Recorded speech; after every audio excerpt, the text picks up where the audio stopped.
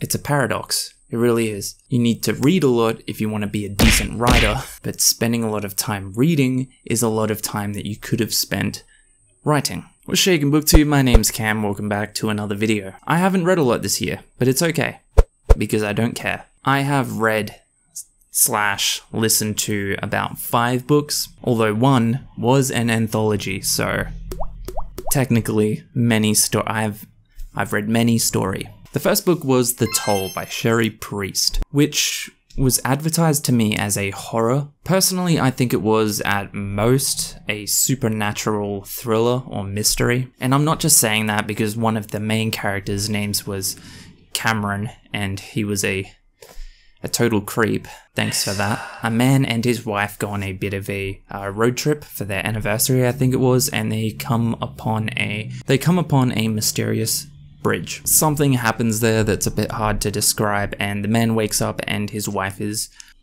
she's gone. She's gone. The story from then on is, uh, you know, it's creepy. It's mysterious. This is aided especially by the uh, town that the guy ends up having to go to. It's a really small town. All of the people there are pretty creepy. The whole vibe is very uh, sinister because they're all obviously hiding a secret. But the story rarely steps into the realm of actually being scary or definitely not uh, in any way horrifying. Look, with all that said, the toll wasn't that bad, but it wasn't particularly memorable either. I'll, I'll give it uh, three stars. Next up was a non-fiction book called Humanology. Yes, I read non-fiction because I am, in fact, a smart. Humanology quite literally explains everything about life as we know it. And I know that's that sounds like an absurd claim, but trust me, I don't know how else to explain it. Humanology takes you from uh, the creation of the universe to the death of it and explains in scientific detail almost everything in between. Everything from, you know, the rising of a civilization to how and why we're attracted to people on a chemical level. And I know what you're thinking. You're probably thinking that sounds like the most interesting and somehow most boring thing you've ever heard of. I know.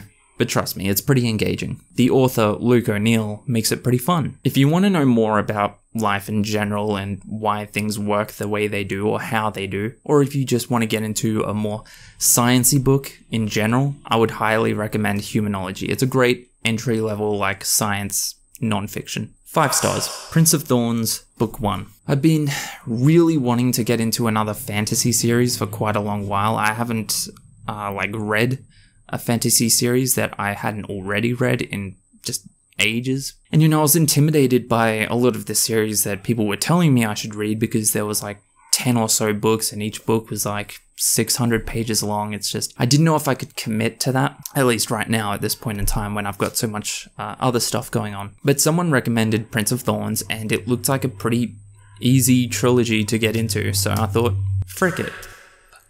It. It seemed like an easy way to ease back into a full fantasy series. Please be gentle with me, bro. We have a young, somewhat unlikable protagonist who is leading a uh, band of rogues or a band of bandits on a bit of a revenge tour, let's call it. And through the course of the story, you know, you learn more about the kid's past and the role he has in the big political conflict that's happening through this series. To be honest, I really liked it. I, I did. I really enjoyed this first book, and I'll obviously be continuing on with the rest of the series. But uh, with that said, I can't help but feel like not a lot happened for the length that the book is. Like looking back on it, I only remember there being like a handful of major events that were integral to the story. When the pace picked up, it was exciting, but at a lot of points in the story, it also kind of dragged its feet. But you know, I was still majorly entertained and I'm eager for more, so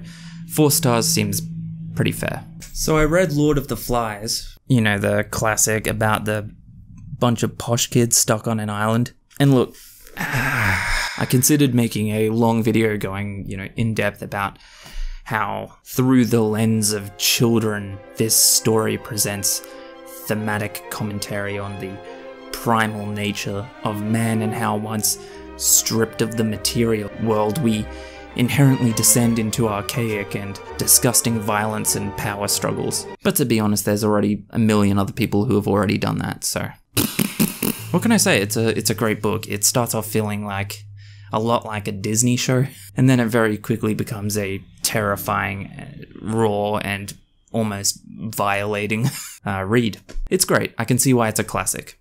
Five stars. If you're not sick of hearing me say this by now, I love horror anthologies. I really do. It's like one of my favorite things in the whole world. And what I like to do sometimes is find like lesser known horror anthologies from uh, either self published or independent authors, or maybe traditionally that just never quite blew up. Because that happens quite a lot with horror as a genre. Uh, there's a lot of horror authors that just go completely under the radar despite being fabulously talented. Anyway, I love listening to uh, horror anthologies on Audible. Audible. Sign up now and get your first. Nah, I'm just kidding.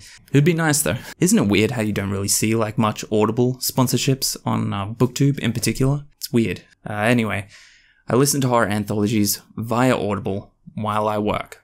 And I found one really good one that I feel has gone completely under the radar called Spider Season. It's by Billy Hanson and it was fantastic. The stories ranged from like uh, basic, short, and very simple horror to more psychological horror slash thriller. And what I found was that most of them took a like common and expected horror trope and spun it a bit, made it a bit more unique. You know, just twisted the dial a little bit. I really do recommend checking it out. Like I said, it's on Audible, so you can listen to it while you do other things. It's very creepy and uh, very easy to get through it very quickly. My favorite short story from there was probably um, Music from the Gun Room, which is weird to me in retrospect. Like, if you explained what all of the short stories were about, I would not have picked this one as being my favorite, but it was, and it was because it was terrifying in a very unique way. I've seen very few stories, both long and short, do suspense and uh, tension.